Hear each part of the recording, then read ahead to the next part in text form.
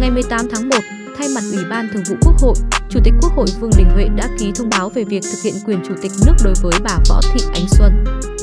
Thông báo nêu rõ căn cứ hiến pháp, luật tổ chức Quốc hội và kết luận của Bộ Chính trị về việc phân công Ủy viên Trung ương Đảng giữ quyền chủ tịch nước.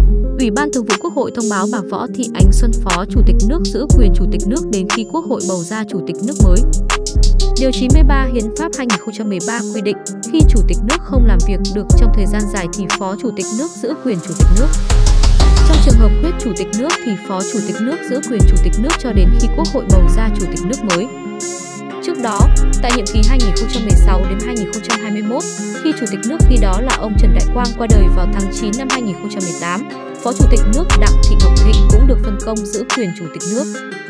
Bà Thịnh đảm nhiệm cương vị quyền chủ tịch nước trong khoảng một tháng. Sau đó, Quốc hội khóa 14 đã bầu Tổng bí thư Nguyễn Phú Trọng giữ cương vị chủ tịch nước.